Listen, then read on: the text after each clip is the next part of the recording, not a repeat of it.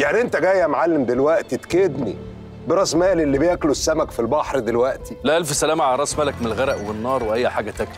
بس أنا بفكرك إن الحاج حسنين القماش هيفضل كبير السوق. حتى لو صبيانه كده رجلهم شدت وقفوا على حيلهم بقى عندهم دكاكين وصبيان برضه هيفضل كبير السوق. وإحنا ما بنسيبش حقنا. علاقة أي ست بالموضة هي علاقتها بثقتها في نفسها إحساسها بجمالها وأنوثتها وبتحسن مزاجها دايما كنت بسأل أي اتنين متجوزين أنتوا إزاي قابلتوا وحبيتوا بعض. طه لا له في شغلنا ولا في شغل السوق.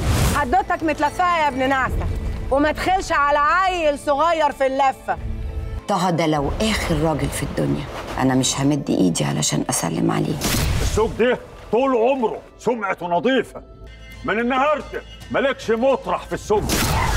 واللي شايف نفسه لسه في عافية يستجري يقف قصاد سوق الكانتو قريبا في رمضان.